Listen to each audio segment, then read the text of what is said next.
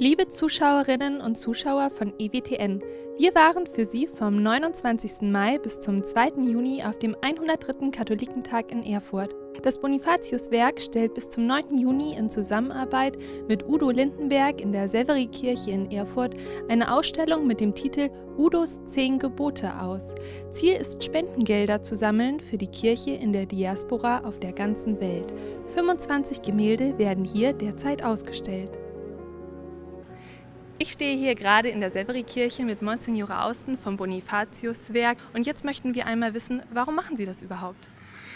Als Bonifatiuswerk der deutschen Katholiken ist es uns wichtig, über die Inhalte des Glaubens ins Gespräch zu kommen, auch mit Andersdenkenden, Andersglaubenden, mit Menschen, denen vielleicht auch der Glaube fremd geworden ist. Und wie können wir die Urkunden unseres Glaubens, wie die zehn Gebote, heute neu ins Gespräch bringen?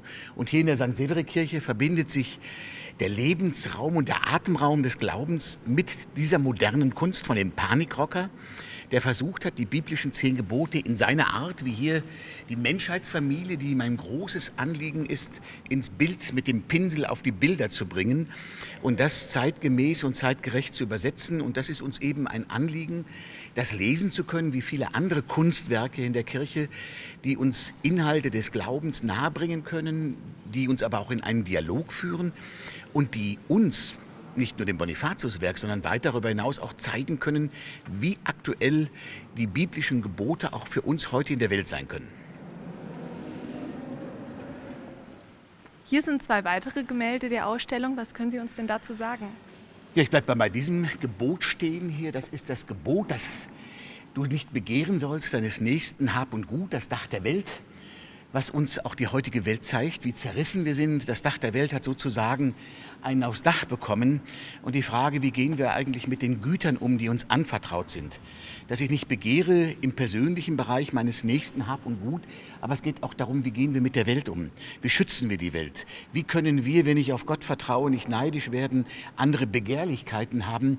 Oder wenn ich daran denke, wie sehr unsere Welt von der Klimakatastrophe bedroht ist oder eben auch, wo Menschen sich in der Welt, in der Zerrissenheit auf den Stuhl Gottes setzen, sich zu Machthabern machen, die Würde des Menschen missachten. Und das wird uns hier auch mit in den Blick gerückt. Der wunderschöne blaue Planet mit dem Haus auf dem Dach der Welt. Und wie können wir das umsetzen und einsetzen? Und was mich sehr freut, dass wir fast schon 20.000 Besucherinnen und Besucher hier hatten. Das zeigt also, dass mit dem Künstler Udo Lindenberg auch die Bilder in den Blick gerückt werden, aber dass auch diskutiert wird über die Inhalte unseres Glaubens. Was können Sie uns denn zu diesen Gemälden Besonderes sagen? Ich bleibe mal bei den beiden oben stehen. Es ist ja für uns wichtig, auch wo wir in einer Situation leben hier, wo die meisten Menschen der Bevölkerung keiner christlichen Konfession angehören. Hier ähm, im Bistum Erfurt sind etwa sieben Prozent der katholischen Kirche angehören, etwa ein Viertel gehören offiziell der katholischen Kirche an. Und ihnen nahezubringen, dass unsere Inhalte, unsere Werte auch wichtig sind für die heutige Zeit und auch der Menschheitsfamilie, der Gemeinschaft von Menschen etwas sagen können über die Beziehung zu Gott, aber auch wie kann ich für mich in der Freiheit, die uns gegeben ist, auch so damit umgehen, dass die zehn Gebote ein Angebot für das Leben sein können und für die Welt. Da oben beispielsweise das Gebot, du sollst nicht stehlen. Ich finde genial gemacht, ganz einfach zu verstehen, das Bild ist geklaut, aber die Spuren sind noch zu sehen. Wenn wir mit dem Eigentum von anderen umgehen, es einfach entwerten oder stehlen.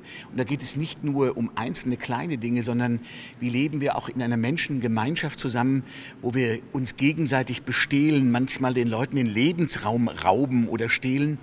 Äh, und was bleibt dann übrig? Ein leeres Bild, wo Spuren hinterlassen werden und davon sehen wir genug. Oder wenn ich auf das nächste Bild, ich finde das toll dargestellt, das ist so die Art von Udo Lindenberg auch, du sollst nicht lügen, du sollst die Wahrheit sagen. Wenn ich an einen Gott glaube, der mir ermöglicht, auch wahrhaft zu leben, äh, dann brauche ich das nicht zu lügen, dann muss ich mich nicht größer darstellen.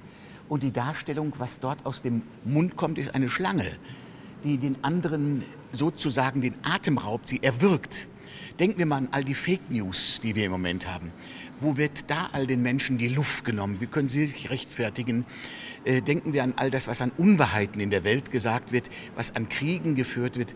Wenn es um Fragen auch von Gerechtigkeit geht, glaube ich, ist das sehr schön, dass wenn wir Unwahrheiten verbreiten, die den anderen den Atem nehmen oder die ihn kaum noch zum Atem kommen lassen, denn was einmal gesagt ist, geht nicht wieder raus, ist das wie eine Schlange, die mich fast erwürgt.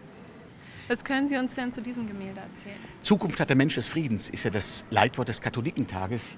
Hier geht es um den Krieg der Religionen. Wenn Religion missbraucht wird und nicht dem Leben dient, sondern vernichtet, dann ähm, wird es zur Ideologie und dient auch nicht dem, was uns Gott anvertraut hat. Deswegen haben wir auch jeden Tag hier in der Kirche ein Friedensgebet, wozu wir einladen, um das wach zu halten, auch nicht nur ein Ausstellungsraum, sondern ein Gebetsraum. Und wir unterstützen durch diese Ausstellung, wo der Eintritt frei ist, sie geht ja noch über den Katholikentag hinaus unterstützen wir soziale Projekte in Kirchworbis beispielsweise für Frauen und Kinder, die unbegleitet sind. Oder wir unterstützen ein Flüchtlingslager, das größte der Welt in Bangladesch, mit Udo Lindenberg gemeinsam und dem Bonifatiuswerk. Das ist uns auch ein Anliegen, nicht nur zu reden, sondern zu handeln und solidarisch zu sein. Vielen Dank. Ein sehr, sehr wichtiges Projekt und auch ein wichtiges Highlight hier auf dem Katholikentag. Der 103. Katholikentag in Erfurt ist jetzt vorbei, aber er wird noch nachwirken, denn diese Ausstellung wird noch bis zum 9. Juni zu besichtigen sein. Also kommen Sie bei Interesse gerne vorbei, um dieses Projekt zu unterstützen. Wenn Sie alle unsere Produktionen sehen wollen, dann schauen Sie auch gerne auf unseren Social-Media-Kanälen auf Instagram und Facebook auf ewtn.de vorbei.